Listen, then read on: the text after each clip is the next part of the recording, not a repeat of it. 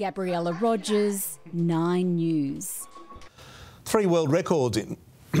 excuse me, I'll start that again. Three world records in one spectacular voyage. That's the aim of sailor Xavier Doerr, who set sail today on a